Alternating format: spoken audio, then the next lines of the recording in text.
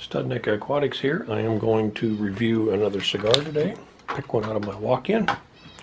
And I believe I'm going to do an economy cigar. Incidentally, I'm getting quite a few cigars in here. I will do a tour of this thing here one of these days.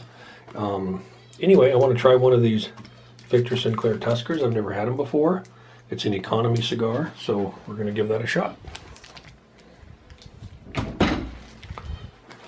I will get this thing lit up and then we will start this review. And once again, this is the Victor Sinclair Tusker. It's an economy cigar, um, something you can smoke in your yard or, or whatever. So I will get this lit and then we'll add more to this.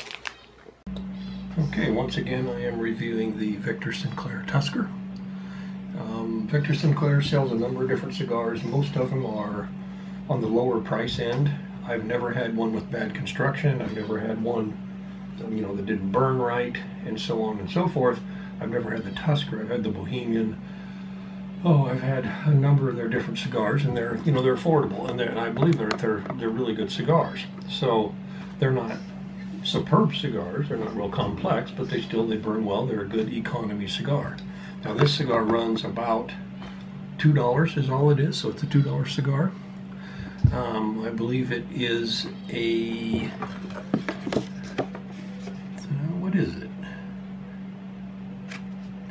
5 by 50. Yeah, that's what it is. It's 5 by 50. It is from, from the Dominican Republic, and it does have a Connecticut wrapper. This particular one here, I don't think I suggested right. This particular one here is a Maduro. I do tend to like Maduros. Um, that kind of puts it out on the on the medium, uh, mild to medium in there somewhere. So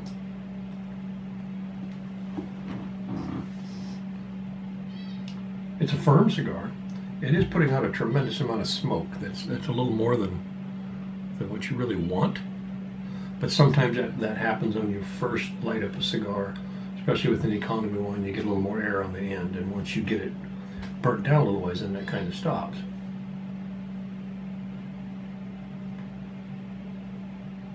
That's kind of an earthy note to it might be just a little hint of pepper, but there's it's mostly pretty much earthy.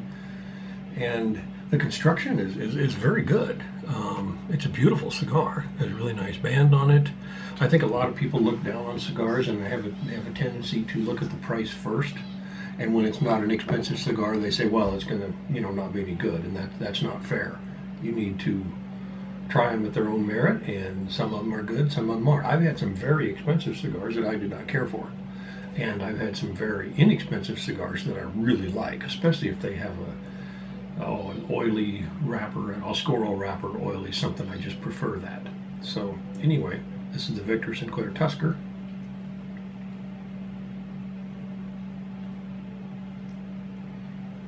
It's mellow. I mean, it, it, it's pleasant. It's not it's not harsh. It isn't you know it's burning well. It, it's a good, well constructed cigar. That's for two dollars, it's, it's a good cigar. It doesn't have a tremendous number of, of, flavors in it, like some of the other ones do that are on the higher end. But still, it's it's a good cigar. It'd be a really good cigar for sitting out on your deck or mowing your yard, um, working in the greenhouse or whatever you're doing. So, I will go ahead and smoke this down a little ways, and I will chime back in on the second third.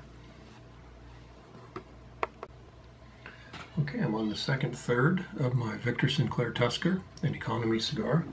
And a couple of things to note is that if you smoke a cigar and it makes you kind of nauseous and so forth, in that it makes you feel kind of sick, basically that's different than smoking a robust cigar, you, you know, when you don't have a meal ahead of it or something like that. That's just a fairly strong cigar. But if you kind of feel nauseous, which this one doesn't cause that, um, basically the fermentation process wasn't complete. They rushed it, and that's what caused you to feel nauseous. And a lot of people who don't smoke cigars, all they ever had was a cheap cigar that was not fermented properly and made them feel nauseous, so they think all cigars are that way, and that is not true.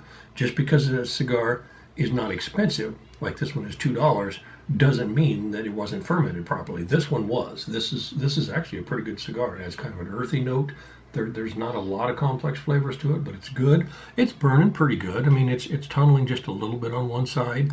The ash is hanging on, and that's the indication of long fillers. It's also an indication of quality tobacco. Um, the ash is white or light gray, and that is an indication of, of fertile soil.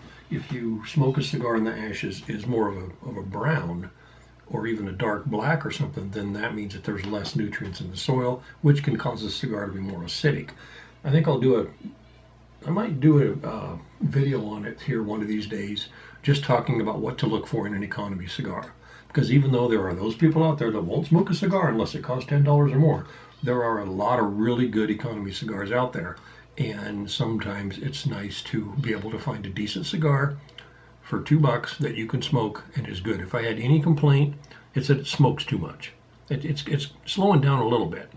But at first, I just smoke was rolling off this thing. So it is it is a good cigar.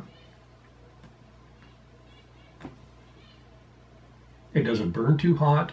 Um, also, you want the ash to stay on if it's not long fillers. If it's if it's short fillers or if it's chopped up, whatever, the ash won't hang on that long. And by keeping a one inch ash on there, it, it keeps your cigar from burning too hot. So overall, this is this is a really good economy cigar. I, I highly recommend it. I think the Victor Sinclair Tusker is a good cigar. I believe you can also get it in just a plain Connecticut wrapper rather than the Maduro. The Maduro takes it a little a little more flavor. So anyway, that is my um, review of the Victor Sinclair Tusker. And as always, keep smoking cigars.